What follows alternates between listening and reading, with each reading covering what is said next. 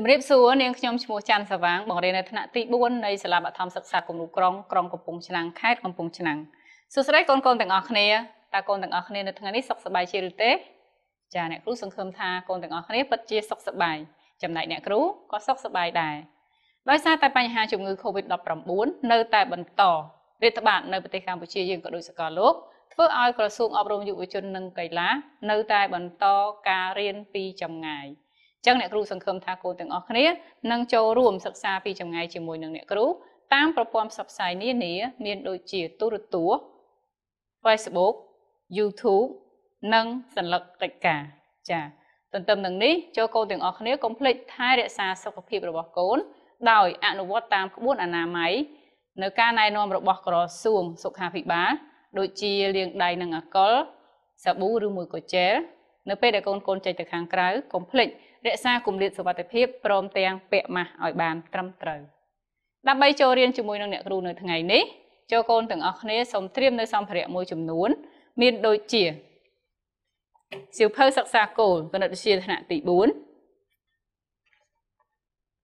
ម៉ាស៊ីនគិតលេខសៀវភៅសរសេរក្តារឈ្នួន Word ប៊ិចខ្មៅដៃនិងបន្ទាត់ជាដើម ចាអញ្ចឹងកូនកូនទាំងអស់គ្នាបានត្រៀមសម្ភារៈរួចរាល់អស់ហើយអឺ ប៉ុន្តែកូនចាំទេថាកាលពីថ្ងៃមុនកូនទាំងអស់គ្នាបានសិក្សាជាមួយអ្នកគ្រូនៅមេរៀនអ្វីចាកាលពីថ្ងៃមុនគឺយើងបានសិក្សាទៅលើប្រមាណវិធីដកឯកតារង្វាស់ពេលចាអញ្ចឹងដើម្បីធ្វើការដកឯកតារង្វាស់ពេលតើកូនទាំងអស់គ្នាត្រូវធ្វើដូចម្ដេចចាអញ្ចឹងវិធីរបស់យើងបានកំណត់រួចហើយទី1គឺកូនកូនទាំងអស់គ្នាត្រូវតម្រៀបចំនួនឲ្យត្រូវតាមខ្ទង់នៃរង្វាស់ពេលនីតិដាក់តាមនីតិ ម៉ោងដាក់តាមម៉ោងបើមានវិនាទីដាក់តាមវិនាទីបន្ទាប់ពីតម្រៀបត្រូវតាមខ្ទង់ហើយគឺយើងអាចធ្វើប្រមាណវិធីដកបានហើយករណីដែលតួទី1តូចជាងតួទី2កូនធ្វើការខ្ចីពីខ្ទង់ខាងឆ្វេងដោយអីគេកូនដោយ1ម៉ោងស្មើនឹង60នាទីឬក៏1នាទីខ្ចីទៅវិនាទីបាន60វិនាទីកូនកូនទាំងអស់គ្នាមានបានធ្វើកិច្ចការផ្ទះឲ្យអ្នកគ្រូហើយឬនៅ ចាអញ្ចឹងអ្នកគ្រូសង្ឃឹមថាកូនទាំងអស់គ្នាបានបំពេញកិច្ចការផ្ទះហើយហើយនៅពេលនេះអ្នកគ្រូនឹងធ្វើកំណែលំហាត់ចំនួន2ដើម្បីបង្ហាញកូនកូនដើម្បីជាការរំលឹកមេរៀនដល់កូនកូនផងដែរណាចា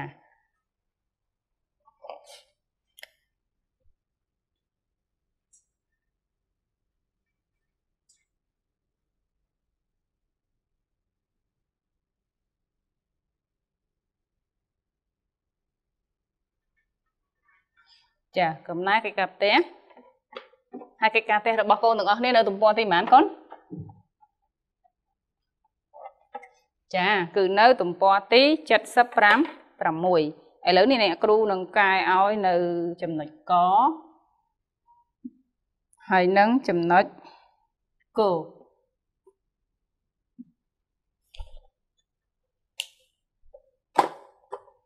ចំណុចកប្រហែលកូន គឺ96នាទីដកឲ្យ12នាទីចាតើស្មើនឹងប៉ុន្មានម៉ោងនិងប៉ុន្មាននាទី ចំណែកឯចំណុចកគឺ2ម៉ោង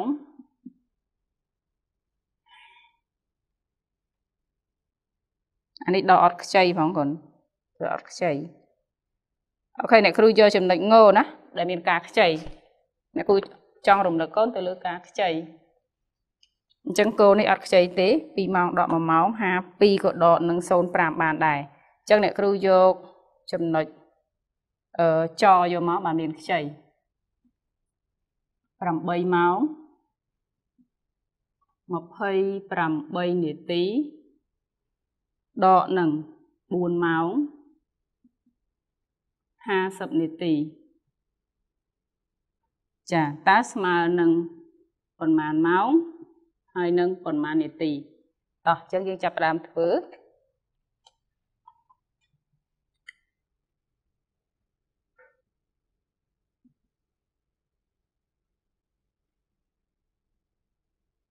ចាដំបូងគេគឺចំណុចកអឺ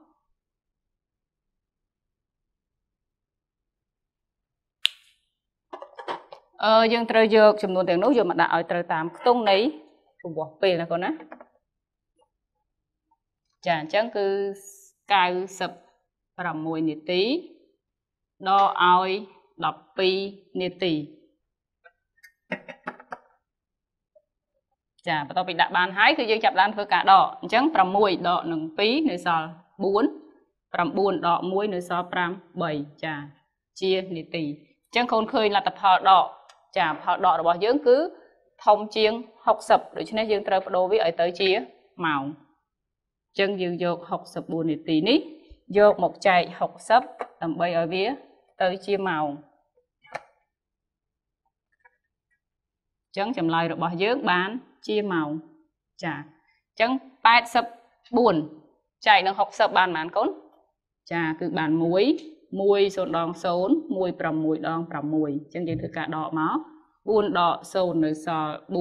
8ដក6នៅសល់2ចាអញ្ចឹងកូនឃើញហើយកគឺស្មើនឹង1ម៉ោង24នាទីចាអញ្ចឹងអ្នកគ្រូទៅចំណុចច8ម៉ោង 28នាទីដកឲ្យ4ម៉ោងនិង50នាទីចាអញ្ចឹងកូនឃើញហើយថាតើខ្ទង់នៅខ្ទង់នាទីកូនអាចដកបានទេចាដោយសារតែ28អត់អាចដក50បានទេដូច្នេះយើងត្រូវធ្វើការខ្ចីពីពីម៉ោងអញ្ចឹង8ម៉ោងខ្ចីអស់1នៅសល់7ម៉ោង ចំណែក1ម៉ោងនេះពេលដែលដល់ខ្ទង់នាទីគឺស្មើនឹង60អញ្ចឹង60បូកជាមួយនឹង28គឺស្មើនឹង85 3ហើយបានយើងចាប់ផ្ដើមធ្វើការដកអញ្ចឹង8ដក0នៅសល់8 8ដក5នៅសល់3ឃើញ30 8នាទីហើយ7ម៉ោងដកនឹង4ម៉ោងគឺស្មើនឹង3 3ម៉ោងចាអញ្ចឹងចម្លើយយើងឃើញហើយស្មើនឹង3ម៉ោង និង38នាទីចាអញ្ចឹងអឺកូនទៀមទាត់ចម្លើយជាមួយនឹងអ្នកគ្រូនៅលើក្តារខៀនមើលថាតើចម្លើយពីខ្ទង់នេះតើត្រឹមត្រូវដូចជាចម្លើយដែលកូនបានធ្វើនៅក្នុងសិភៅដែរឬទេចាអ្នកគ្រូជឿជាក់ថាចម្លើយកូនគឺត្រឹមត្រូវដូចគ្នា ចំណែកដែលលំហាត់នៅសល់កូនអាចយកទៅផ្ទៀងផ្ទាត់ជាមួយនឹងមិត្តភ័ក្តិរបស់កូនឬក៏ជាមួយនឹងលោកគ្រូអ្នកគ្រូនៅឯសាលាចា៎អរគុណកូនកូនទាំងអស់គ្នាអញ្ចឹងសម្រាប់ពេលនេះ អ្នកគ្រូនឹងនាំកូនទាំងអស់គ្នាទៅបន្តនៅមេរៀនទី10របស់យើងដែលនៅថ្ងៃនេះគឺអ្នកគ្រូនឹងនាំកូនទាំងអស់គ្នាទៅសិក្សាទៅលើការដោះស្រាយចំណោទ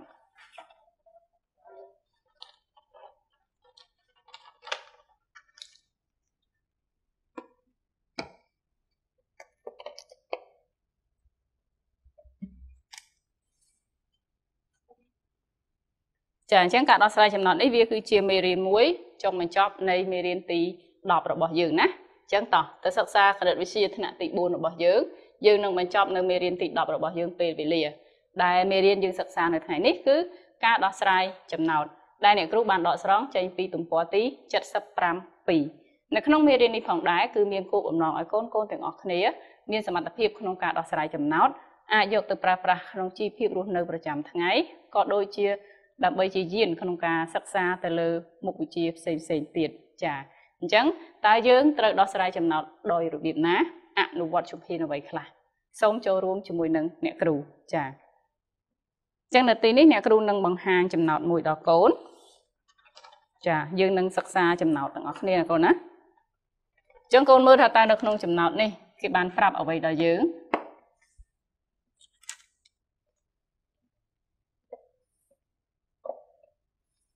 ចូលកូនអានមកចប់មកគេប្រាប់អីយើងខ្លះហើយគេសួររកអ្វីយើងចាចប់ហើយណាអញ្ចឹងមកចប់ហើយអានជាមួយនឹងអ្នកគ្រូមកចប់ទៀតចាសង្ហាចេញពីផ្ទះទៅសាលារៀននៅម៉ោង5:50នាទីព្រឹកគាត់ប្រើរយៈពេលអស់50នាទីទើបដល់សាលា ចឹងគេសួរថាតើសង្ហាទៅដល់សាលានៅម៉ោងប៉ុន្មានចាម្ដងទៀតសង្ហាចេញពីផ្ទះទៅសាលារៀននៅម៉ោង5:50នាទីគាត់ទៅអឺគាត់ប្រើរយៈពេលអស់50នាទីទើបដល់សាលាតើសង្ហាទៅដល់សាលានៅម៉ោងប៉ុន្មានចាអញ្ចឹងចំណោទបែបនេះប្រាប់ម៉ោងចេញហើយប្រាប់រយៈពេលធ្វើដំណើរគេសួររកម៉ោងទៅដល់ តើកូនត្រូវប្រើប្រមាណវិធីអ្វី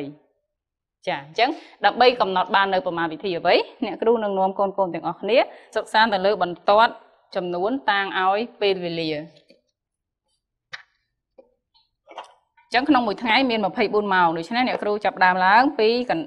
ម៉ោង0កណ្ដាលអាធ្រាត្រណាកូនណាចាអញ្ចឹងអឺចាប់ពីម៉ោង0កណ្ដាលអាធ្រាត្ររហូតដល់ម៉ោង12ថ្ងៃត្រង់គឺមានរយៈពេល 12ម៉ោងចាហើយក្នុងមួយ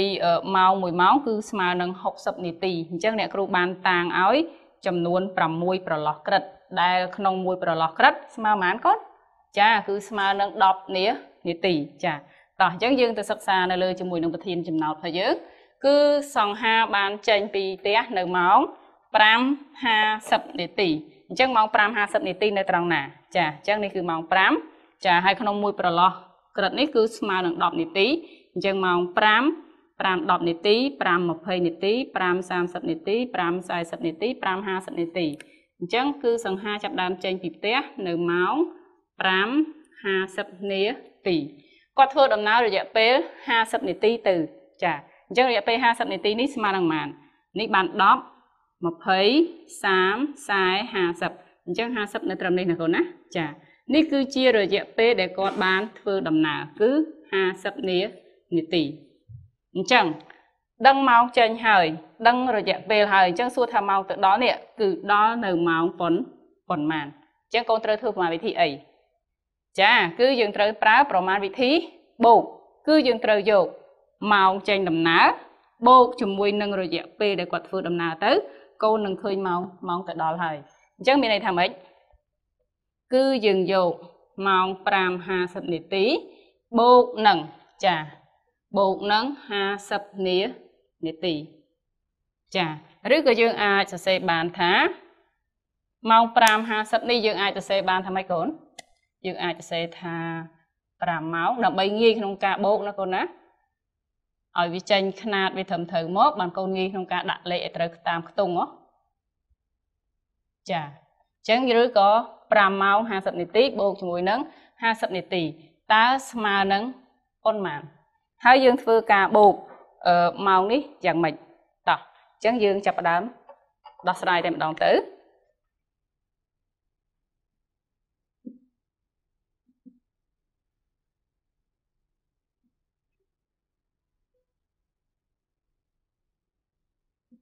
ចាប្រមាណវិធី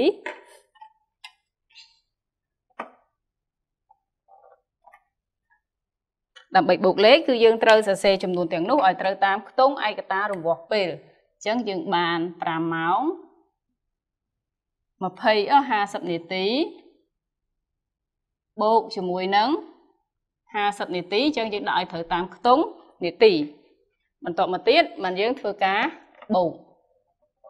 ចាអញ្ចឹង0បូកនឹង0ស្មើ0 5បូកនឹង5ស្មើនឹង10អញ្ចឹងទៅសេក្នុងកឡោនាទីទាំងអស់ណាកូនណា បន្តមកទៀតបាន5ម៉ោងអត់អ្វីបូកយើងទម្លាក់ចុះអញ្ចឹងកូនឃើញចម្លើយហើយផលបូករបស់យើងគឺ60អញ្ចឹងវាលើសពីអឺផលបូករបស់យើងគឺ100វាលើសពី60ដូច្នេះយើងត្រូវធ្វើការបដូរណាអញ្ចឹងយើងយក100នាទីនេះទៅបដូរទៅជាជាម៉ោងដោយយើងចែកនឹង60ចម្លើយដែលទទួលបាន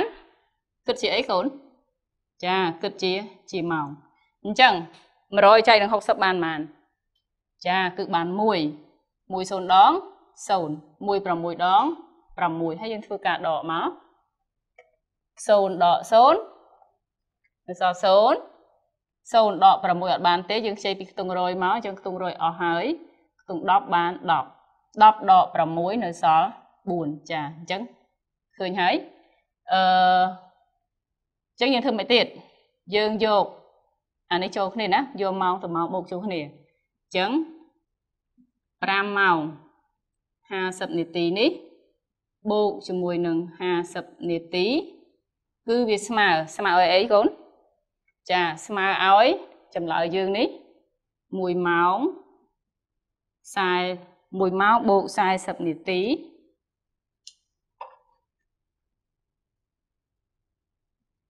ហើយបានបូកជាមួយនឹងចម្លើយម៉ោងរបស់យើងនេះគឺ5ម៉ោង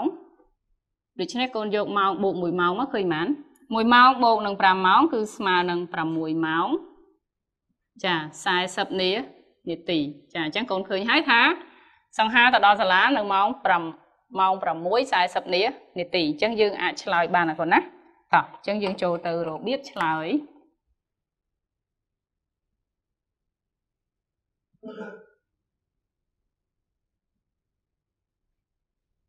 ចាអញ្ចឹងយើងរកអីគេកូនរកម៉ោងសង្ហាទៅដល់សាលា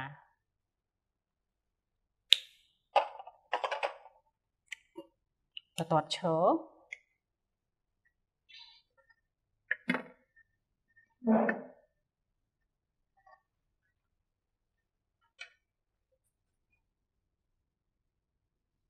រកម៉ោង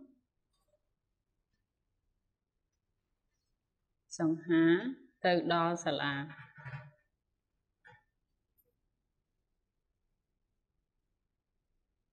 ចាគឺយើងយកម៉ោងចេញដំណើរគឺម៉ោង5 50នាទីបូកនឹង50នាទីស្មើនឹងចាស្មើនឹងម៉ោង6 40នានាទី ដែលយើងអាចទៅសេបានទៀតថាម៉េចកូននេះម៉ោង6 40នាទីចាឆ្លើយថា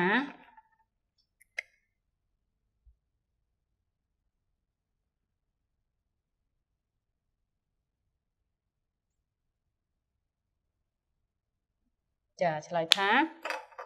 សង្ហាទៅដល់សាលានៅម៉ោង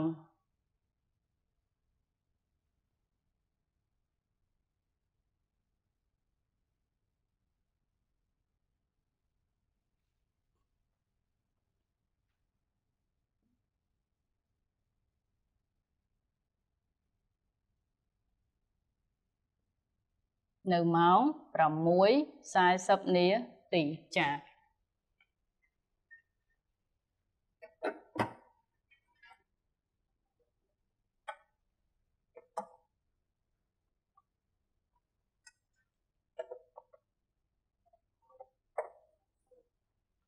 ចាអរគុណកូនកូនទាំងអស់គ្នាអញ្ចឹងដល់ពេលនេះគឺយើងបានដោះស្រាយចំណោទយើងបានហើយគឺសង្ហាបានទៅដល់សាលានៅម៉ោង6:40នា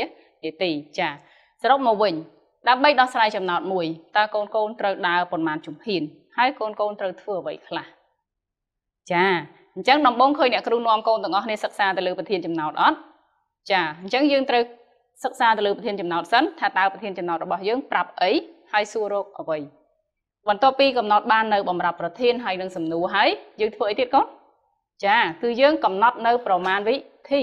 តើយើងត្រូវធ្វើប្រមាណវិធីអ្វី ពេលដែលយើងកំណត់ប្រមាណវិធីបានហើយគឺយើងចាប់ផ្ដើមធ្វើការអនុវត្តដោះស្រាយតែម្ដងចាអញ្ចឹងបន្ទាប់ពីយើងដោះស្រាយហើយយើងចូលដល់ចុងក្រោយយើងអាចនឹងធ្វើការផ្ទៀងផ្ទាត់ចាអញ្ចឹងកូនផ្ទៀងផ្ទាត់មើលថាប្រសិនបើយើងយកម៉ោងទៅដល់ដក50នាទីវិញតើស្មើនឹងម៉ោង5:50នាទីអត់ចាពេលដែលកូនធ្វើការទៀងទាត់បានមានន័យថាការដោះស្រាយកូនការកំណត់នៅបញ្ហាការកំណត់នៅប្រមាណវិធីយកមកកណនីនោះគឺពិតជាត្រឹមត្រូវ អញ្ចឹងដើម្បីឲ្យកូនទាំងអស់គ្នាកាន់តែច្បាស់ទៅលើការដោះស្រាយចំណោទអ្នកគ្រូនៅមានចំណោទមួយទៀតមកបង្ហាញកូនកូនទាំងអស់គ្នាហើយឲ្យកូនចូលរួមដោះស្រាយអញ្ចឹងសូមកូនរៀបចំសៀវភៅដើម្បីធ្វើចំណោទមួយទៀតណាកូនណា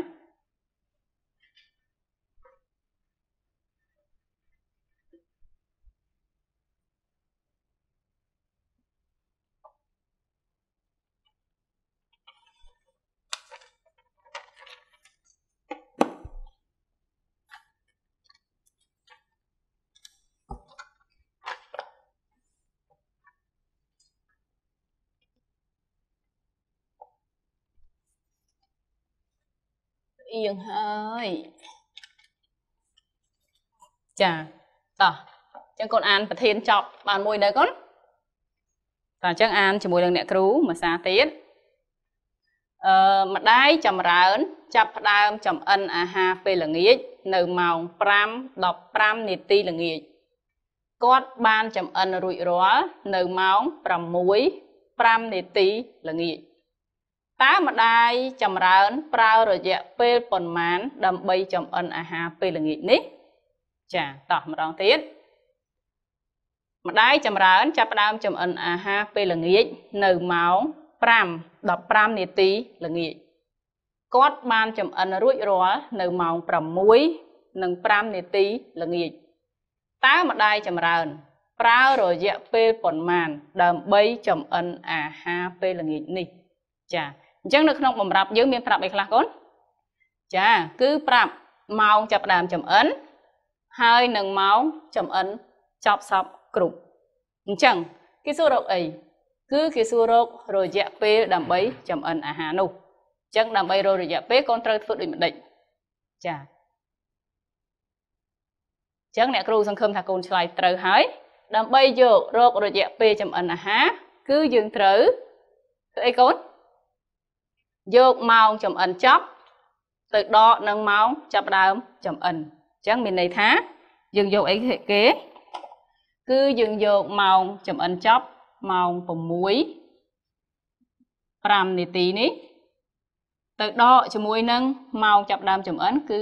ម៉ោង5ចា15នាទីតើស្មើនឹងប៉ុន្មានតោះអញ្ចឹងបើគិតឃើញហើយយើងអាចនឹងចាប់ដើមដោះស្រាយតែម្ដងណា អញ្ចឹងយើងអាចដោះស្រាយបានដាក់ប្រមាណវិធីនៅខាងក្រោមវិញចាអញ្ចឹងមានប្រមាណវិធី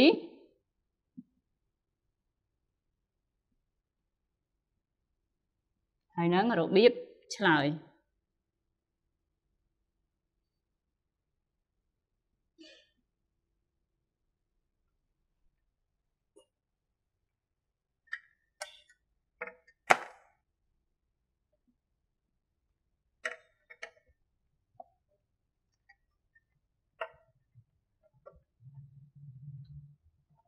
ជឿរកអីគេកូនចារករយៈពេលចំអិនអាហារពេលល្ងាចរករយៈពេល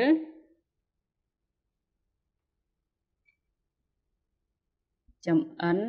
អាហារដោយយើងយកម៉ោងចេញយើងអាចសរសេរចេញជាម៉ោងងាយក្នុងការធ្វើការដកណាកូនណាគឺម៉ោង6 5នាទីនេះ ទៅដកជាមួយនឹងម៉ោង5និង15នាទីចាដោះយើងអាចធ្វើការដកបាន605នាទីដកឲ្យ5 15នាទីចា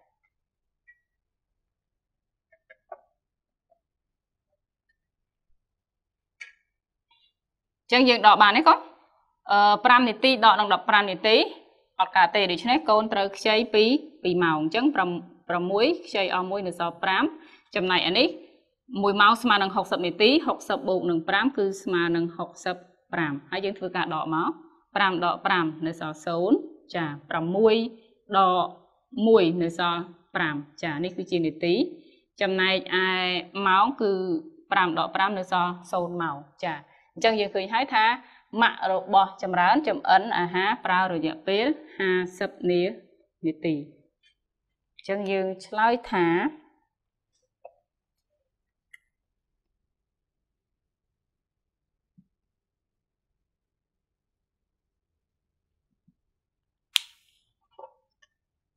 ឆ្លើយថាម៉ាក់ចម្រើនចំណាយពេលចំអិនអាហារ ម៉ាក់ចម្រើនប្រើពេលចម្អិនអាហារអស់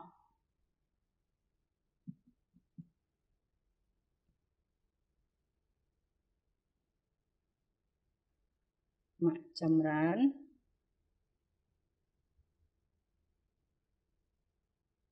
ចម្អិនអាហារប្រើ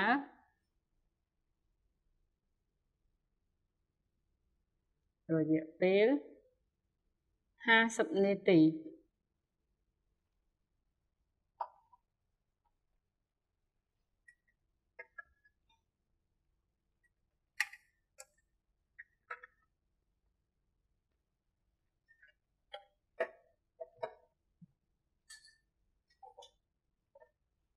ចាអរគុណកូនកូនទាំងអស់គ្នាអ្នកគ្រូជឿជាក់ថាចម្លើយដែលកូនបានដោះស្រាយនៅក្នុងសភៅមិញនេះក៏ដូចជាចម្លើយដែលអ្នកគ្រូបានបង្ហាញនៅលើនៅលើក្តារខៀនដែរដូច្នេះមានន័យថាកូនទាំងអស់គ្នាគឺចេះធ្វើការដោះស្រាយចំណោទហើយចាដោយអនុវត្តទៅតាមជំហានរបស់យើងមួយមួយចាអញ្ចឹងមេរៀនដែលអ្នកគ្រូបង្ហាញនៅថ្ងៃនេះត្រូវបានបញ្ចប់ហើយហើយអ្នកគ្រូនៅមានជាកិច្ចការផ្ទះឲ្យកូនទាំងអស់គ្នាយកទុកទៅធ្វើនៅផ្ទះណាអញ្ចឹងសូម ទាញសភៅឡើងដើម្បីកត់កិច្ចការផ្ទះអ្នកគ្រូសូមបកនេះចេញសិន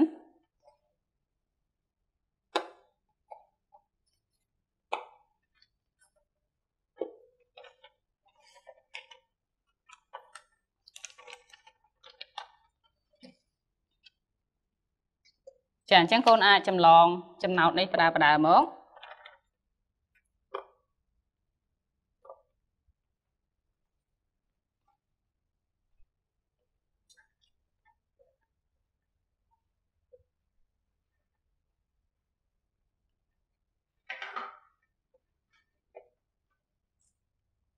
ចាចំណោទនេះដាក់ថា ម្ដាយតុលា បានចាប់ផ្ដើមហាត់ប្រាណនៅពេលរសៀលម៉ោង5:45នាទីពេលល្ងាចហើយបញ្ចប់នៅម៉ោង7:15នាទីល្ងាចតើម្ដាយតុលាប្រើរយៈពេលប៉ុន្មាន សម្រាប់ហាត់ប្រាណចាអញ្ចឹងចូលកូនចម្លងចំណោទចំណោទនេះទុកដើម្បីយកទៅដោះស្រាយហើយជួបអ្នកគ្រូនៅថ្ងៃក្រោយ គឺអ្នកគ្រូនឹងធ្វើកំណែជូនកូនទាំងអស់គ្នាដើម្បីឲ្យកូនធ្វើការទៀងទាត់ជាមួយនឹងចម្លើយដែលកូនបានដោះស្រាយនោះចាអរគុណសម្រាប់ការចូលរួមសិក្សាពីចម្ងាយជាមួយអ្នកគ្រូនៅថ្ងៃនេះដែលយើងបានសិក្សាទៅលើមេរៀនទី10របស់យើងគឺពេលវេលា ការដោះស្រាយចំណោទចាអញ្ចឹងអឺកូនកូនទាំងអស់គ្នានឹងបានជួបអ្នកគ្រូសាជាថ្មីម្ដងទៀតនៅមេរៀនក្រោយណាជាចុងក្រោយសូមគោរពជូនពរកូនកូនទាំងអស់គ្នានិងក្រុមគ្រួសារឲ្យមានសុខភាពល្អ ការស្នាក់នៅប្រកបដោយសុខសុវត្ថិភាព សូមអរគុណ